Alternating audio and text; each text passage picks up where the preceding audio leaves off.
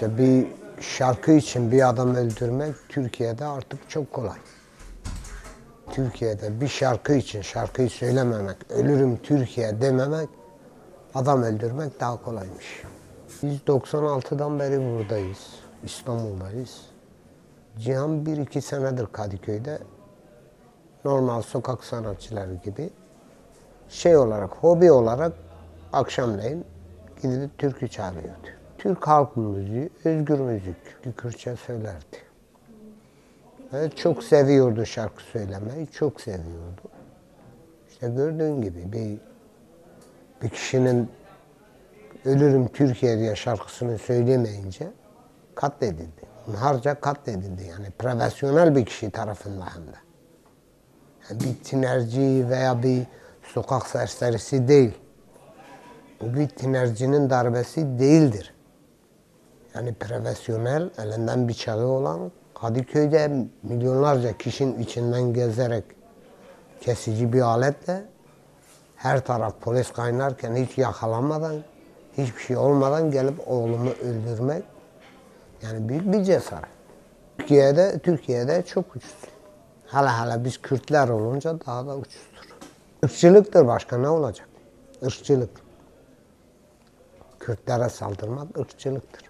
Önce Kadıköy'de tabii ki sokak sanatçıları bir tane daha yine ölmüştü biliyorsunuz. Aynı sokak sanatçılardan bir tane daha Kadıköy'de öldürülmüştü. Yani bunu da ört, örtbas isterler. Vay tinerciymiş, tinerci olduğunu şey yaparlar. Vay şarapçıymış, iki gün sonra götürüp cezaevinden öbür kapıdan girer. Bu kapıdan da çıkar salıverirler gider. Sonuna kadar peşini bırakmayacağım. Sonuna kadar devam edeceğim. Sonuna kadar devam edeceğim. Benim beş tane çocuğum var. Cihan benim ikinci çocuğum. En çok sevdiğim oğlum, en çalışkan oğlum. Gündüzler kendi işine geliyordu, kendi işine gidiyordu. Akşam da bazen hobi olarak gidip türkü söylüyordu yani yapacak, bir şey yoktu. Ya biz gülüyorduk. Baba ben büyük sanatçı olacağım diyor. Biz de gülüyorduk. Ve sonunda bizim elimize bu geldi işte. Eğer Türkiye'de bu sistem devam ederse bu olaylar gittikçe artacak. Bu olay sistemin kaldırılması lazım yani Türkiye'de. Bu sisteme son vermesi lazım. O da bizim elimizde olan, halkın elinde olan bir şeydir. Yani bu sisteme son vermek lazım. Burada nakliye işlerinde çalışıyorlar. Normal ara işlerinde çalışıyorlar. Hem nakliye işlerinde çalışıyordu, hobi olarak işte dedim hobi olarak işi bittikten sonra da oradan gidip şarkı söylüyordu. Yani ondan para kazanacağı falan bir şey biz beklemiyorduk. Yani hobi olarak türkü söylüyordu. Millet eğlendiriyordu. Yani bir türkü söylemek suç mudur? İnsanları eğlendirmek suçsa Türkiye demek suçtur. Yok ben sonuna kadar oğlumun davasını bırakmayacağım. Sonuna kadar peşinden gideceğim. Oğlum kötü biri değil. Hoş olduğunu sanmıyorum. Çocuğum bilerek katledildi.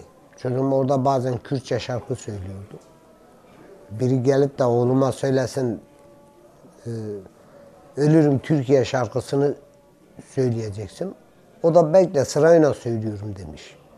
Yani söylemiyorum dememiş. Bekle sırayla söyleyeceğim. Oğluma saldırmış yani.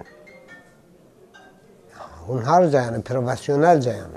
Benim oğlum öyle kolay kolay bir bıçakla kendini ele verecek kişi değildi yani. E bu hunharca oğlumu katlettiler. Oğlum devlet eliyle gitti. Yani orada bir sürü polis var, orada bir sürü şey var. E biri çıkıp müdahale edebilirdi. Biri çıkıp müdahale edebilirdi. Oğlumu vuruyor, denize düşüyor. Sonra çıkıp oğlumu denizden kurtarmaya çalışıyor ve sonra kendini denizde atıp şey yapmak istiyor. Yüzmek istiyor yani. Halk linç etmesin diye. E, muhalifi vardı. Raportaj yaptığını e, ben de bilmiştim ve polis tarafından gözaltına alıp Maltepe'ye getirip ifadesini alıyorlar. Tekrar serbest bırakıyorlar. Bir türkü söylemiş orada. E, neydi hangi? Tayyip e, Yiğit muhtaç olmuş kuru soğana. O da Tayyip bizi muhtaç etti kuru soğana. Bu türküyü söylediği için gözaltına alınmıştı. Söyleyeceğim tek şey var. Ben oğlumun davasının arkasındayım. Oğlumun davasını bırakmayacağım. Haydi uzak kere grek parmanca, vay vay mek parmanca vay. Vay vay, mutkenak mutko bellenek. Mutko bırak ya tayçite da vay bellenek. Ouais, Robelle, elle est trop prolixe. Ouais, ouais, ouais, ouais.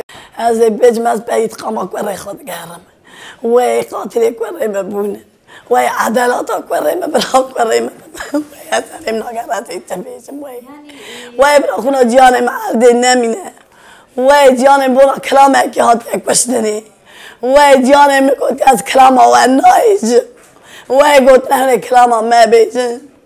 وای بونا کلام أخليق سنة بار خيمة كوشتنا واي أجيام برقلانة واي بونا كلام أخوي قلت أتي كلام عم أبيسي وجيها بونا غطيان شو ما كلام قلت بونا كلام اللي خصك كوشتنا وای وای بعد يا ما وين رجعت قلت تايب مطاسي جنب